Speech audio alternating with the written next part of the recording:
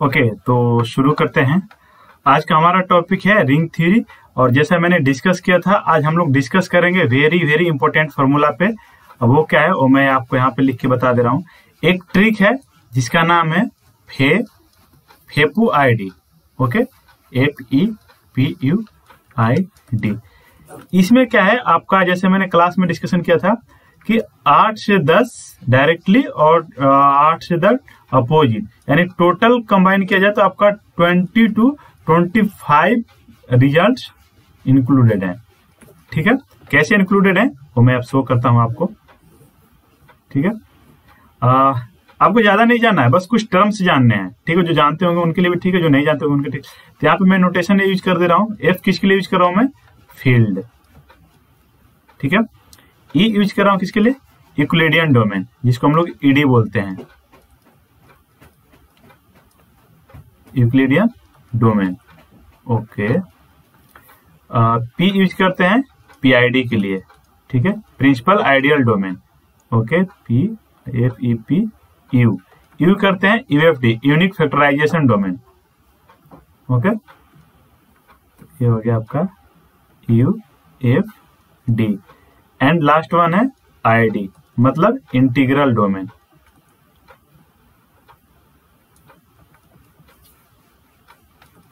ठीक है। तो जिसको एब्स्ट्रैक्ट में कितना भी डर लगता होगा ना ये फॉर्मूला से वो दो एक दो क्वेश्चन तो डायरेक्टली मार देगा ठीक है? तो यहाँ पे क्या है? आ, दो रिज़ल्ट हम लोग यूज़ करेंगे।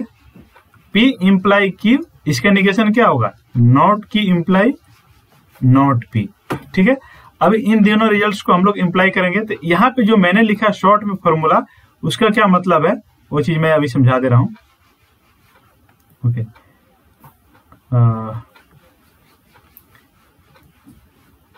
यहाँ पे होता है, जैसे मैं एवरी फ़ील्ड एवरी फ़ील्ड लीजा आपका क्या था? F E P U I D FEPU I D आप याद कर ही सकते हैं। अगर कोई आपके पास फ़ील्ड दिया हुआ है तो वो क्या हो जाएगा? इक्लिडियन डोमेन हो जाएगा। ठीक है? तो इसका मतलब यही है। इसको डायरेक्ट लैंग्वेज में लिख दे रहा हूँ। सॉरी सिंबल्स में, ताकि टाइम हमारा ना लगे। अगर कोई फ़ील्ड है तो वो क्या करेगा? इक्विलिडियन डोमेन होगा। ठीक है? फ़ील्ड से लेते हैं। अगर फ़ील्ड है तो इक्विलिडियन डोमेन होगा। फ़ील्ड है तो पीआईडी होगा। फ़ील्ड है तो यूएफडी होगा। फ़ील्ड है तो इंटीग्रल डोमेन होगा। ओके? तो field imply ED field imply PID देखिए कितना रिज़ल्ट हो गया। फ़ील्ड इंप्लाई अगर कोई फ़ील्ड है तो क्या होगा? यूएफडी भी होगा। अगर कोई फ़ील्ड है तो आपका क्या होगा? इंटीग्रल डोमेन भी हो गया। ठीक है? तो यहाँ से आपके चार रिज़ल्ट हो गए। ठीक है? अब फिर हम लोग सेकेंड पे आते हैं। सेकेंड क्या है? ईडी e अगर कोई इक्लिडियन डोमेन है तो आपका पीआईडी भी हो जाएगा। अगर कोई यूक्लिडियन डोमेन है तो ईवीएफडी भी हो जाएगा। अगर कोई यूक्लिडियन डोमेन है तो आपका एफ़ यू इंटीग्रल डोमेन भी हो जाएगा। ठीक है, यहाँ से तीन रिज़ल्ट हो गए। फिर आते हैं थर्ड में। अगर कोई पीआईडी है आपके पास, वो क्या हो जाएगा? ईवीएफडी भी होगा। अगर आपके पास कोई पीआईडी है तो इंटीग्रल डोमेन भी हो जाएगा। ठीक है, अब आते हैं। फोर्थ अगर आपके पास कोई ईवीएफडी है फेपू आईडी तो वो आपका इंटीग्रल डोमेन भी हो जाएगा। अब इनका थोड़ा सा हम लोग कन्वर्स देख लेते हैं, ठीक है? कन्वर्स में क्या था? ओके मैं यहाँ से एक लाइन ड्रा कर दे रहा हूँ। कन्वर्स में अगर कोई इंटीग्रल डोमेन है मतलब रिज़ल्ट ऐसा है कि अगर पी इंप्लाई क्यू हमने किया ना, अब नोट क्यू इंप्लाई नोट कर दीजिए। अगर कोई ईडी e नहीं होगा, ठीक है? तो इसको लैंग्वेज में कैसे लिखेंगे? नोट ईडी अगर कोई ईडी नहीं है मतलब इंक्लूडियन डोमेन नहीं है तो वो क्या? फ़ील्ड भी नहीं होगा। क्लियर इसको मैं मिटा दे रहा हूँ। ऐसे करते करते देखिए कितने सारे रिज़ल्ट इसमें इंक्लूडेड है। अगर कोई पीआईडी नहीं है, ठीक है तो क्या होगा? फ़ील्ड भी नहीं होगा। अब आप सोच रहे ये कैसे? ए रिज़ल्ट देखिए पी इंप्लाई क्यू होता है तो not Q imply not Q दोनों एक इक्वैलेंट होते हैं, ठीक है? तो अगर फ़ील्ड इंप्लाई पीआईडी मतलब not PID imply not field. Okay अगर कोई नॉट यूएफडी है, ठीक है तो नॉट यूएफडी है तो क्या हो जाएगा? नॉट फ़ील्ड हो जाएगा। Okay okay? अगर आपके पास कोई है नॉट इंटीग्रल डोमेन ठीक है तो क्या हो जाएगा? नॉट फ़ील्ड हो जाएगा। यहाँ से कितने रिज़ल्ट हो गए? Two two four four eight result हो गए। आपका फ़ील्ड एंड बाकी के टर्म्स में। ओके अब सबका इसी तरह हम लोग कर लेंगे तो मैंने क्या बोला था? लगभग ट्वेंटी फाइव के राउंड थे। ठीक है। अब अगर आपके पास कोई नॉट पीआईडी है तो क्या होगा? नॉट ईडी होगा। नॉट पीआईडी है सॉरी नॉट यूएफडी है। नॉट यूएफडी अगर आपके पास नॉट यूएफडी है तो भी नॉट ईडी होगा। नॉट आईडी है तो भी आपका नॉट ईडी होगा। उसी तरह यहाँ पे भी कर लेंगे, यहाँ पे क्या हो जाएगा? नॉट यूएफडी है तो क्या इंप्लाई करेगा? वो नॉट पीआईडी होगा। अगर नॉट आईडी है तो क्या इंप्लाई करेगा? नॉट पीआईडी अब यहाँ से आपको लग रहा होगा ना कितना सारे फॉर्मूला हो गए। यहाँ नॉट आईडी है तो ये हो रहा है यहाँ नॉट आईडी है तो ये हो रहा है यहाँ नॉट आईडी है हो रहा है तो इनसे आपको सबको मैं कंबाइन करके एक सिंपल फॉर्मूला में दिखा दू यहाँ से होगा क्या? अगर नॉट आईडी है तो क्या होगा? नॉट यूएफडी ओके तो यहाँ से आप देख रहे होंगे कि कितने, यहाँ भी देखिए नोट आईडी यहाँ भी नोट आईडी यहाँ भी नोट आईडी तो आप इनको कैसे याद रखेंगे? तो इन्हीं सारे का कंपोजिशन है। फेपू आईडी, ठीक है? फिर रिज़ल्ट क्या है आपका? या ट्रिक कह लीजिए। रिज़ल्ट ट्रिक है। एफ़ इम्प्लाई यहाँ से मैं थोड़ा सा स्पेस लेके लिख दे रहा हूँ क्योंकि मेरे को ज़्यादा जगह चाहिए। Okay field imply ED imply PID imply ID imply integral domain अब यहाँ से आप कितने देखिए? जो मैंने बना था उसको ज्योमेट्रिकली दिखा रहा हूँ। Field imply ED field imply PID field imply UFD field imply ID एक हो गया, दूसरा आते हैं।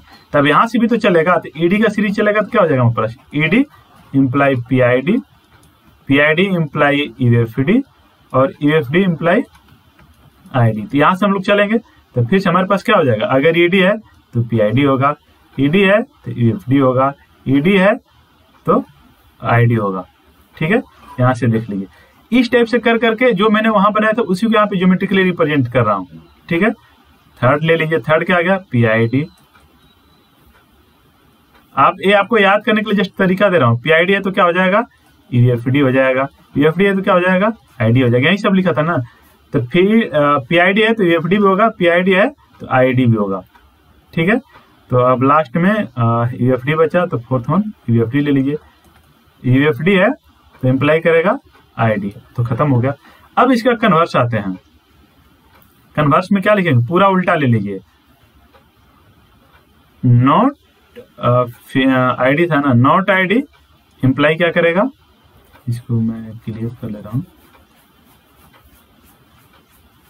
नॉट आईडी फेपू आईडी था ना?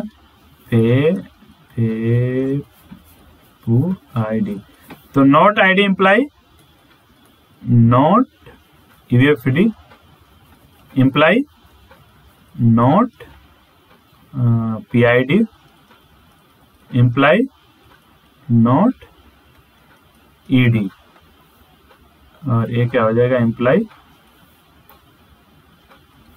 इम्प्लाई नॉट फ़ील्ड ये हो गया। तो सबका उल्टा ले लिया। अब यहाँ से फिर कंपोजिशन अगर कोई आईडी नहीं है तो यूएफडी भी नहीं होगा। आईडी नहीं है तो पीआईडी भी नहीं होगा। आईडी नहीं है तो ईडी भी नहीं होगा। और आईडी नहीं है तो फ़ील्ड भी नहीं होगा। और इन्हीं सारे का कंपोजिशन यहाँ पे जो मैं बना रहा था तो सब देखिए, यही सब लिख रहा था। Not ID this not ID this not ID this तो वही है। तो इसी रिज़ल्ट आप एक रिज़ल्ट को कई तरीके से यूज़ कर सकते हैं? अच्छा अब आपको छांटने में एक रिज़ल्ट और है जो बहुत ज़्यादा हेल्प करता है। वो क्या है? Z under root minus D is U F D if and only if if and only if क्या? D is equal to one और टू ठीक है? इस रिज़ल्ट को आप लोग याद रखेंगे तो ये क्या होगा? बहुत जगह, अब हमें जो एग्ज़ाम में आप बहुत सारे क्वेश्चन देखोगे, ऐसे पूछा रहता है। Z under root minus fifty दे दिया। Z under root twenty three दे दिया। जेड अंडर रूट कुछ मान लीजिए, कुछ भी ले लीजिए थर्टी नाइन दे दिया। अब इसका पूछेगा कि ईडी e है पीआईडी है, क्या है, क्या नहीं है? तो हमें पता है कि ना तो अगर यूएफडी की बात करें ए बी यूएफडी नहीं है ए बी यूएफडी नहीं है ए बी यूएफडी नहीं है। ठीक है? तो नॉट यूएफडी वाला में आप यहाँ से देख लीजिए। अगर कोई यूएफडी नहीं है तो क्या क्या नहीं हो सकता है। यूएफडी नहीं है तो पीआईडी भी नहीं होगा ठीक है? यूएफडी नहीं है तो ईडी भी नहीं होगा यूएफडी नहीं है तो फ़ील्ड भी नहीं होगा ठीक है? तो ये सब कंसेप्ट हमें एग्ज़ाम में हेल्प करते हैं आइडेंटिफाई करने के लिए। और जैसे मैंने दूसरा एग्ज़ाम्पल ले लिया Z under root minus one Z under root minus two ठीक है? आ, इस टाइप का तो ए भी हो जाएगा आपका ए भी हो जाएगा। एक और है every finite integral domain is field तो वो सब आपके क्वेश्चन में सब आ जाएगा, जो ट्रिक में आपका, एक तो एट ट्रिक में बहुत ज़्यादा हेल्प करेगा, ठीक है? और दूसरा जो मैंने बनाया, इनका सारा कंपोजिशन इस पे बेस्ट बहुत बार आपके नेट में क्वेश्चन पूछा हुआ है तो आपका ड्यूटी क्या होगा? क्वेश्चन पीछे का शुरू करेगा 19 दिसंबर से लेकर मैंने जो ऑब्ज़र्व किया, मैं अपना ऑब्जर्वेशन बता दे रहा हूँ। 2011 से लेके मैंने 2017 तक ऑब्ज़र्व किया था 18 19 का पूछा होगा मेरे को याद नहीं आ रहा। इसमें आपका सिक्स टू सेवन क्वेश्चन था। ठीक है? सिक्स नहीं था शायद। सॉरी सिक्स नहीं था। एट नाइन था। एट नाइन था। एट टू नाइन क्वेश्चन था, जो इन पे, जो मैंने अभी एक पेज बताया, इनमें बेस्ट था। तो इसका मतलब ये देखिए, कि लगभग अगर किया जाए तो एक साल में एक क्वेश्चन तो पूछा ही है। और ये आपके नेट गेट सेट हर जगह आता है। इंपोर्टेंट किसके लिए है? नेट में भी आता है। सेट में भी आता है। Himachal Pradesh SET Gujarat SET Maharashtra SET GATE में भी आता है।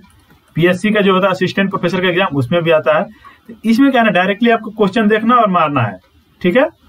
तो थैंक यू आज के लिए इतना है।